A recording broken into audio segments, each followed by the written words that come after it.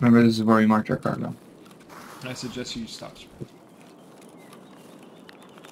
What? Oh, above us. You got him? I did? Yeah. I heard his fucking click, dude. Holy shit, that guy sold. Oh, he's fucking scoping in on me. Yeah, motherfucker. That was, in fact,